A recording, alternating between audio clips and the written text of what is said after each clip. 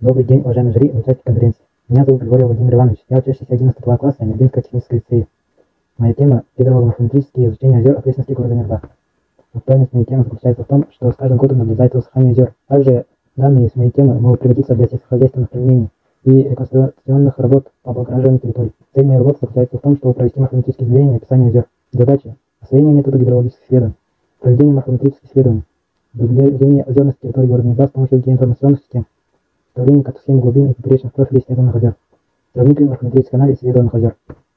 Объектом исследования является озеро окрестностей города Неба. Предметом исследования являются морфометрические данные озер. Методы исследования. Первое. Метод гидрологического исследования озер. Второе. Расчетный метод.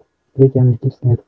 Второе. Я использовал цифровые ресурсы, такие как Састандет, для нахождения координат, ширины и длины и высоты над уровнем моря, расстояние от населенного пункта. И сахагист.ру для нахождения площади верха воды и площади водосбора. Это карта местности города Нюрба. Озеро Пескуля находится в юго-западе от города Нюрба. Озеро Огородтах в западе от города Нюрба. Озеро Венка в севере, а озеро Кулчей в северо-востоке. Методы исследования. Проведение измерений и описания озер. Для исследования я использовал такие оборудования, как лодка, рулетка, ручной луки, карта исследования района, журнал наблюдений и чертежные принадлежности. На этом слайде вы видите вид со спутника озера. Батометрический рисунок и поперечный вид озера Огородтах. Озеро Пескуля, озеро Венка, озеро Кулчей. Сравнительный анализ. Исследованное озеро уренического типа, то есть планеты Дожеркова, относится к термокарстовым озерам. Наибольшие морфометрические данные имеет озеро Бескуля. Наибольшую площадь водосбора и ширину имеет озеро Волотах. По результатам многолетних наблюдений и измерений воспитанников летнего лагеря юной эколог в озерах окрестностей города Нюрба идет процесс обмеления. Об этом свидетельствует изменение глубин озера за последние десятилетия. Например, глубина озера Волотах в 2011 году составляла 1 метр 75 сантиметров.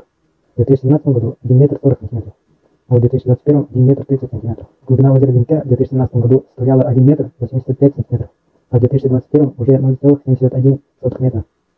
Глубина озера Бескея не изменилась. Также мы провели анализ озерности наследников э, района Нерба. Так, на территории города Нерба озерность составляет 0,62%. Также мы исследовали озерность территории села Адей.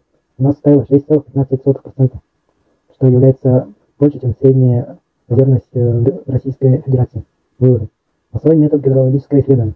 Второй показатель озерности территории города Нерба очень низкий, только 0,62%.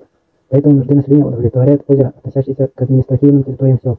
Например, Нербачан, Сельце, Октябрьский наслед. Проведены морфометрические исследования озер Оболотах, Венке, Кулачей, Бескуле. Составлены картосхемы глубин и поперечных профилей исследованных озер. Проведен сравнительный анализ исследованных озер. Многолетний результат показывает, что в озерах Красноки города Нерба идет процесс обмеления. Результаты нашего изучения могут иметь практическое значение для местного населения и рыболовстве. Также они могут стать причиной властей населенных пунктов заняться проблемой изменения озер. Перспектива работы заключается в том, чтобы дать советы администрации района